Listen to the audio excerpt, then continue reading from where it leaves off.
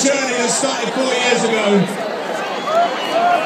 by three guys that took DJing to a whole new level. Insane. They've done some amazing things during those four years, played some amazing places, Coachella, Madison Square Gardens. But the story started here in the UK, which is why they're here today. The love you guys gave these three guys is probably the reason it all happened in the first place. So for the last time ever in the UK,